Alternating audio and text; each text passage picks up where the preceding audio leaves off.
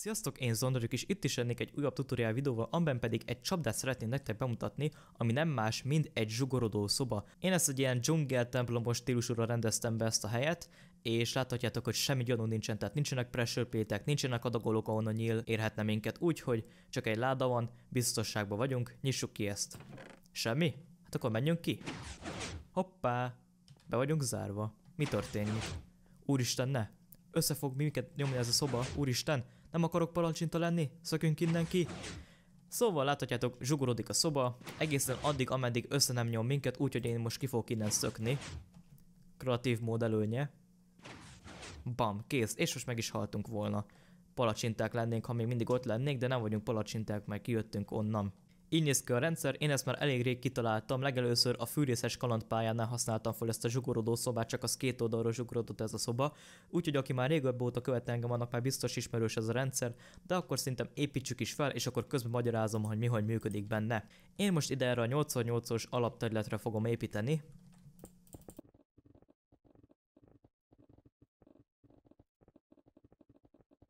Hogyha ezzel meg vagyunk, akkor ki kell egy oldalt, ahonnan a fal az nyomni fog fontosan befele. Az legyen például ez az oldal, tehát ott akkor nem szabad befalazni semmit.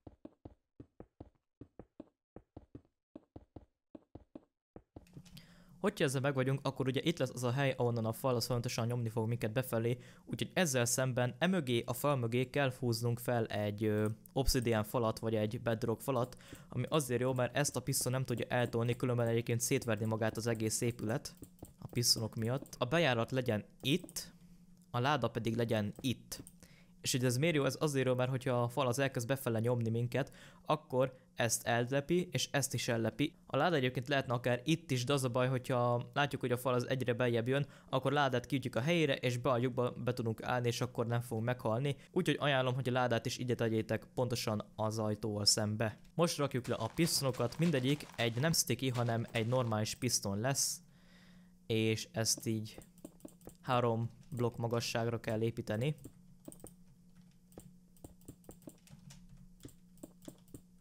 Így három blokk magasságig kell építeni ezeket a pisztonokat, és ezek elé kell a falat felhúzni.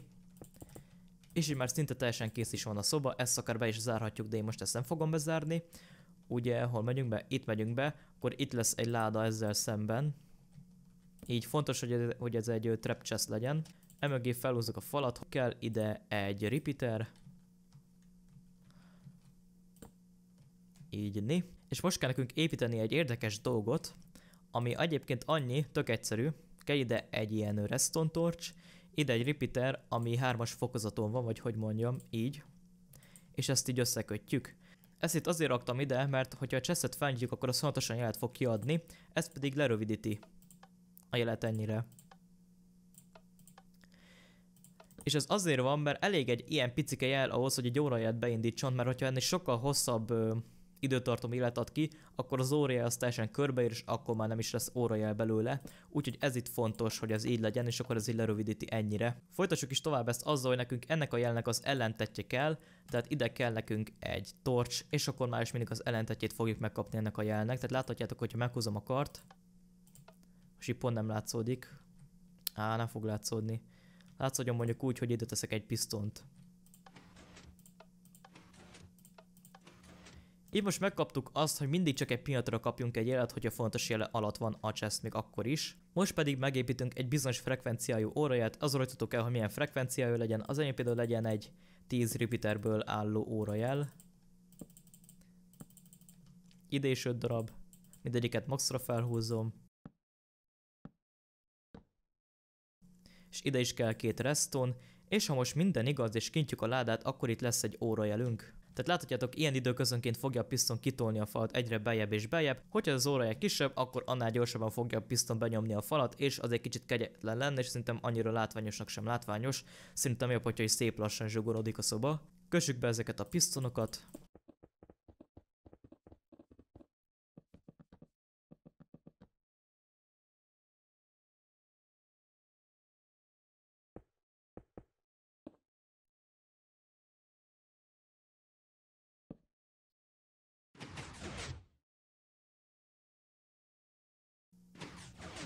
Láthatjátok, működik. Legyen így. Egy kicsit gyorsabban fog zsugorodni a szoba. Tehát láthatjátok, működik. Most kell nekünk egy kis homok. És ki kell számolni, hogy hány homok kell nekünk. Úgy van, hogy itt van a szobának a szélessége, amit mindig úgy számoltok, hogy a pisztonnal szembelévő oldalnak a szélessége, vagyis nem szembelévő, hanem a piszton melletti oldal szélessége. 1, 2, 3, 4, 5, 6. 6x3 homok kell nekünk, és 6x3 homok magasságba kell építeni ezt a homoktornyot, ami itt is volt az előbb. 3x6 az 18, 1, 2, 3, 4, 5, 6, 7, 8, 9, 10, 11, 12, 13, 14, 15, 16, 17, 18. Hogyha ezt a tornyot megépítettétek, akkor érdemes ide tenni jelzésnek egy ilyen blokkot, hogy ilyen magasságig kell építeni ezt a falat. Most pedig, mivel én lusta vagyok egyesével megépíteni itt a homok tömböket ilyen magasságba, ezért azt csinálom, hogy ide lerakok egy homokot, így. Bírjam azt, hogy fill, space tab, space tab, space tab, enter. Ideig eljövök, erre rámegyek erre a homokra, visszahozom az előző parancsot, folytatom még egyszer space tab, space tab, space tab, és beírjuk azt, hogy send. Ez egy egyszerű fél parancs, és ki is töltötte nekünk. Hogyha nektek ez a parancs nem működik, akkor töltsétek ki az egészet homokkal. Építsünk egy plafont.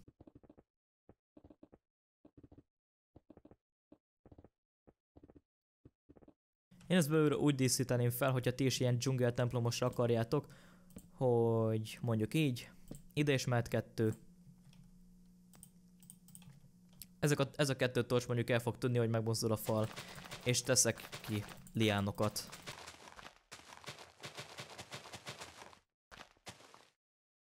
Így ni. Én még annyit csináltam, hogy ezeket a köveket kicseréltem repedezett kövekre, vagyis ilyen repedezett téglakövekre, meg ilyen mohás téglakövekre cseréltem ki, de igazából ez is rajtatok el, hogy milyen stílusra építitek meg ezt a szobát. Tesszük is, hogy működik, amit építettünk, nyissuk ki a ládát. Hoppá, és zsugorodik is a szoba. Megint. Jó, látom, működik, úgyhogy semmit nem hibáztunk el.